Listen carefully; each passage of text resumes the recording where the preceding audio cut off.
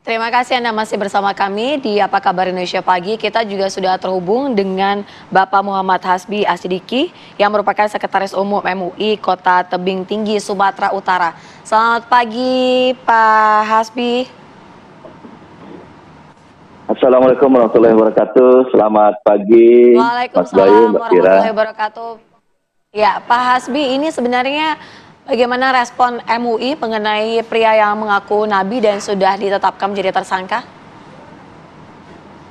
Ya, pertama sekali Majelis Ulama Indonesia Kota Tebing Tinggi mengapresiasi lah dan terima kasih kepada pihak kepolisian Resort Kota Tebing Tinggi, Polres khususnya, yang telah mengambil langkah-langkah preventif dan cepat terhadap adanya oknum yang mengaku nabi yang mungkin kalau tidak diambil langkah-langkah cepat ya ini dapat apa ya menimbulkan dampak-dampak yang lebih jauh negatif dan tentunya nanti dapat berimbas kepada uh, masyarakat khususnya umat Islam dan warga Kota Tebing Tinggi ini. Oke. Pak Hasbi dari mungkin dari informasi yang didapat oleh MUI uh, apakah si pelaku ini juga sudah menyebarkan ajarannya, Pak? Ya, jadi Mas Bayu, eh, ketika mendapatkan informasi adanya unggahan di media sosial ini, Majelis Ulama Indonesia Kota Tebing Tinggi khususnya melakukan rapat-rapat internal dan menelusuri sejauh mana eh, adanya penyebaran yang dimungkinkan nanti yang dilakukan oleh oknum tersebut. Tapi syukurnya alhamdulillah eh, hasil penelusuran kita dari berbagai tempat dan orang-orang yang kita mintai keterangannya. Dan memang eh, dari keterangan yang diperoleh eh, memang belum ada ya. Belum ada penyebaran yang dilakukan oleh eh, oknum yang mengaku nabi tersebut. Jadi memang ini hanya sebatas apa namanya unggahan-unggahan dari yang bersangkutan dan klaim-klaim pribadi sifatnya dilakukan oleh oknum tersebut yang uh, mengaku nabi tersebut. Itu, Ya, Pak Hasbi artinya bisa dipastikan begitu bahwa tidak ada warga yang percaya akan hal itu dan tidak ada warga yang dekat dengan tersangka begitu? Ya, sejauh ini memang yang kita telusuri eh, belum ada ya, belum ada pengikut, belum ada juga orang-orang yang percaya dan mungkin juga yang mengakui yang bersangkutan itu sebagai nabi atau orang-orang yang apa namanya mengangkat-mengangkat beliau uh, sebagai nabi tersebut. Jadi syukurnya masih sejauh itu dia Pak, yang ada di uh, kejadian yang di lapangan. Oke, saya mau geser ke Pak Agus Arianto. Pak Agus, ketika si pelaku merekam aksinya, kemudian mengupload begitu uh, isi ya, isi isi pidatonya begitu, apakah si pelaku ini juga dibantu oleh beberapa orang tertentu atau bekerja hanya seorang diri, ya. Pak Agus? Uh, jadi Mas, sementara ini hasil penyidikan kami uh, yang bersangkutan melakukan seorang diri saja gitu. Dan aksi ini adalah aksi yang pertama kali yang dia lakukan? Iya benar, benar Mas, uh, yang pertama kali ini.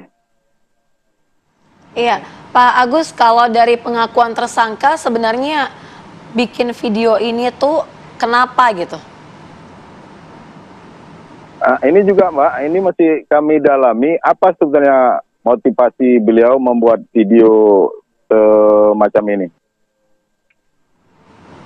Oh, Oke. Okay. Nah kalau dari keterangan yang pihak kepolisian dapatkan mungkin juga kan memeriksa beberapa orang saksi gitu yeah. ya di lingkungannya kemudian di uh, dia di beberapa apa koleganya begitu sebenarnya dari saksi-saksi ini menuturkan sosok ini seperti apa sih Pak Agus?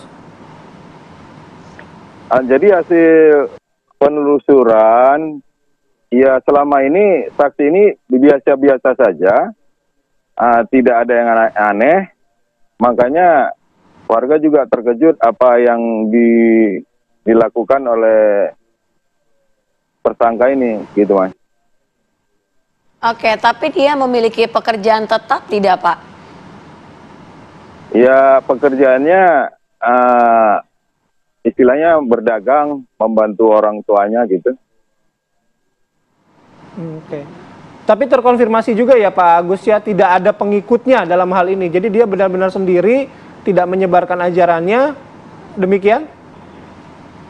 Sementara uh, mengenai hal itu juga kita masih dalami, kita dalami. Uh, kemungkinan belum ada pengikutnya gitu. Oke. Nah untuk lokasi yang dipilih sendiri Pak di lapangan itu, kemudian uh, dia merekam dan menguploadnya, ada alasan-alasan khusus tidak yang disampaikan oleh tersangka ini?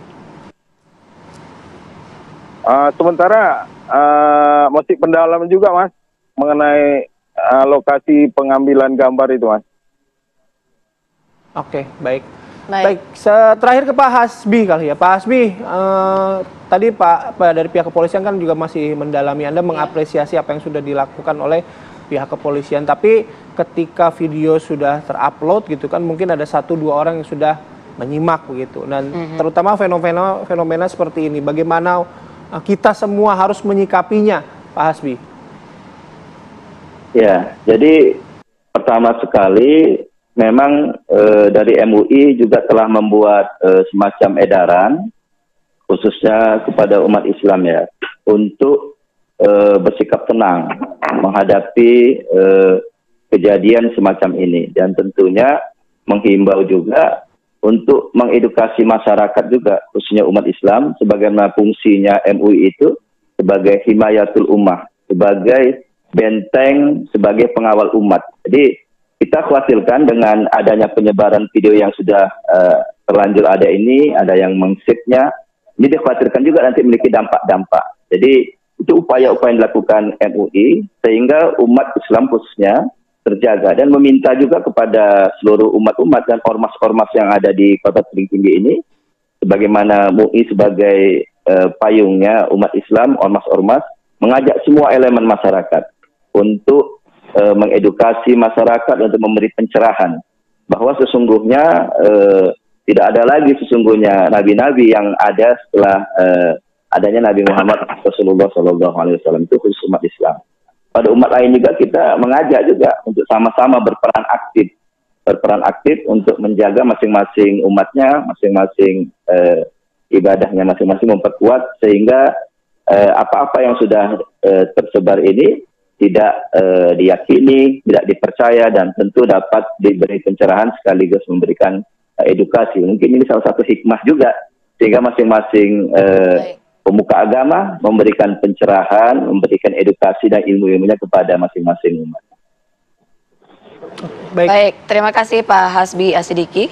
Sekretaris Umum MUI Kota Tebing Tinggi dan juga terima kasih kepada Bapak Agus Arianto, AKP Agus, Kasih Humas Polres Tebing Tinggi sudah bergabung bersama kami dan saat ini mengaku Nabi itu sudah ditetapkan menjadi tersangka. Jangan jangan sampai ada lagi ya hal-hal seperti ini ya. Okay. Tadi ya